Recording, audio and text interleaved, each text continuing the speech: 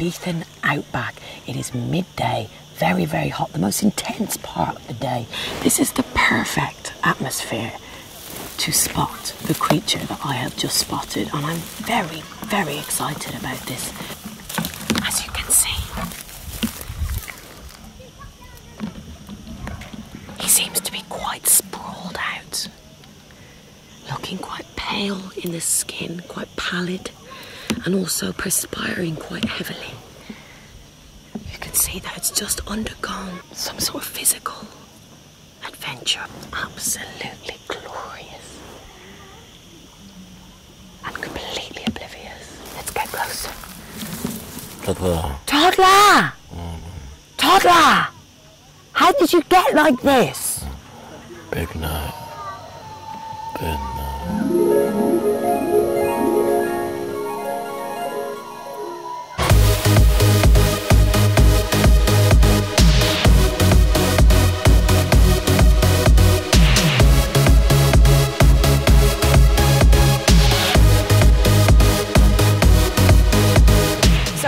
is the night, quite literally, as you can see. On the terrace, Annie Mac presents myself, Diplo, Toddla T, Miss Dynamite, and the mighty sounds of Nero. It should be amazing. Fingers crossed. Every time I come in and I step up in the building and we let the fire sizzle, hope you know we gotta run on. Cause you gotta know that when we get it started, whenever. Put your hands in the air now! And hurt them up, give it to them. Word them up, let me do them. So he's come all the way from Florida via Cambodia, via Timbuktu, via Dublin, via Inverness, via Portugal, via Madrid, via every other city in the world. It's Diplo, everybody! Woo! Woo! He's just off the decks. How was it for you? It was great, man. Amp's the best night in the Ibiza, man, for me. I feel Yeah? it's my third time doing it, so it's Yeah. awesome. I don't know what it was, like some drum steppy, just just to kind of, I had to change it up because you smashed it with the big room anthem, so I had to like yeah. change it up a little bit. Completely, but I like that. That's great. That's cool, That's and I, I did a little big room too. I kind, I kind of sprinkled Yeah. a little big room. Let's walk and talk. How many gigs have you got in 365 days in the year? How many gigs do you play? like 310 or something. this is the hardest working DJ in DJ Day. Diplo, thank you so much. Thank you so much, Annie. Please See bring you it back. next one. We love you. I love you. Keep doing what you do. I will. This, this is it. This is amazing. Bye. He's planking. He's planking. He's planking. Do you know about planking? You do now. This is what it's all about. right, babe. Get in. I'll close the door behind you. my wet butt. All right, bye. Bye, Diplo. So in the back of the car with the one and only Toddla T. He's a big DJ in the game, but in Ibiza there are, believe it or not, there are bigger ones. Now we are on our way to meet possibly the biggest, uh, Mr. Carl Cox. He is the Beat That royalty. He's got a Tuesday night space every week. He's been on the island for years. T, I thought I could speak to you because last night we went to Privilege and you actually managed to hook up with Tiesto. Yeah, I did. I mean, one of the reasons I came here was obviously to play Annie Mac Presents. It's the best rave in the world. However, there was one guy I wanted to meet. So I got a call, we got Yeah. a taxi, and we went to Privilege. Yeah. Now, I've never been to Privilege. No. It looked a bit like Meadowhall. However, I was there to meet Tiflafro. now, he. Tiesto! Sorry, Tiesto. Big man in the game. Now, me and him, now, I don't know if you noticed, we had a word backstage. Things might happen. We are now friends, good friends. Check this out.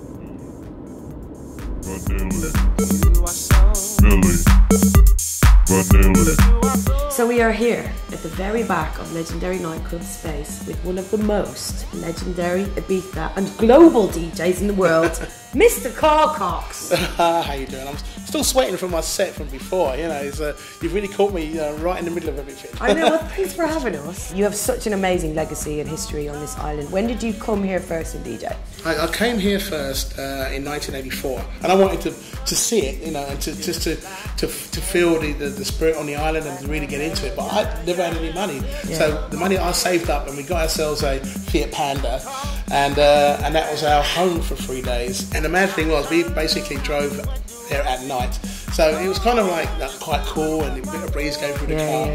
yeah, Uh, in the morning, at six o'clock in the morning, when the sun rose, we were roasting. And how long have you been doing your night here in space? Many years ago, there was no dance floor on the terrace. It was there, but it was full of cushions and people Yeah. hanging out. And obviously no roof. And no roof or anything. So yeah. it was never really the dance floor. But basically, because of my mobile disco days, Yeah. I was I could see the dance floor for what it was. Yeah. So I was like, right, we put the speakers here, we put the turntables here, a little bit of lighting, Yeah. and hopefully people will come onto the dance floor and have a really good time. Yeah. Well, a thousand people thought the same thing, and uh, we, and I think that the, the, the legendary terrace was born from that day on. So So you are responsible for the Space Terrace. Who's the kind of oddest or the most like surprising guest you've ever had at Space? We've had quite a few actually, uh, quite odd ones, and, and I just think, well, I, I have no clue what you're doing here whatsoever. Dr. Dre. Uh, Oh my- Dr. Dre what? was here. What? Dr. Dre? Dr. Dre came in, and I was standing there DJing, and all he said was like, "This night is rocking." It, it really opened up my eyes to house music. He said, "You are the king of this music. I'm sure of it." And uh, thanks for allowing me to come into the booth. One of the nicest guys I've ever met in the scene.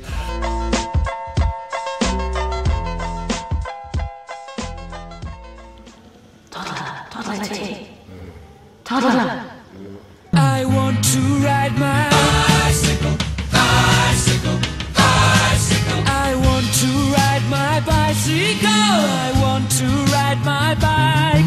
I want to ride my bicycle. I want to ride it where I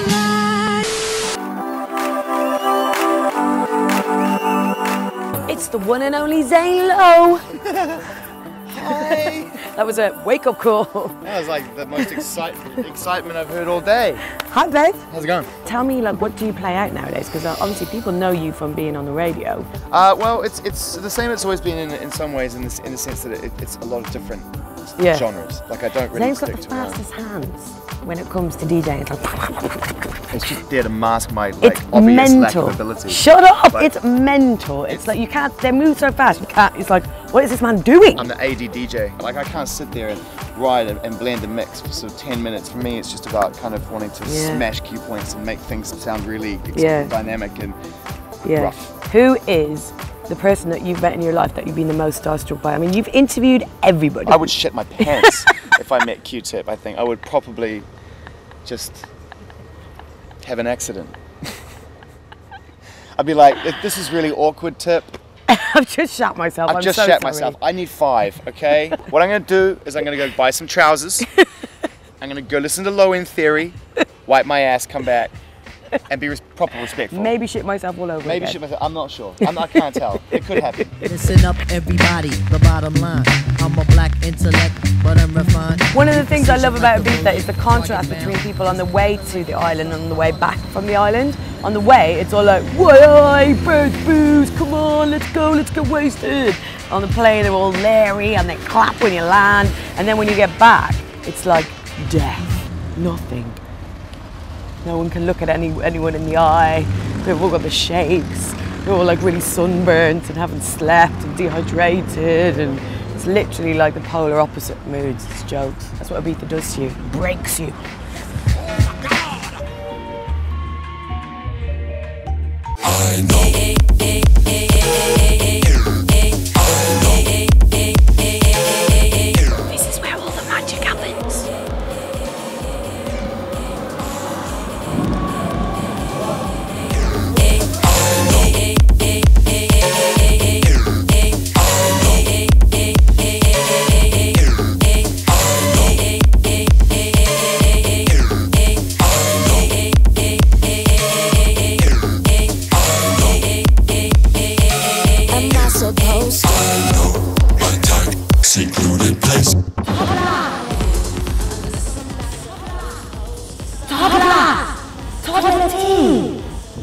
Toddla! Toddla T! How did you get like this? Big night. Night.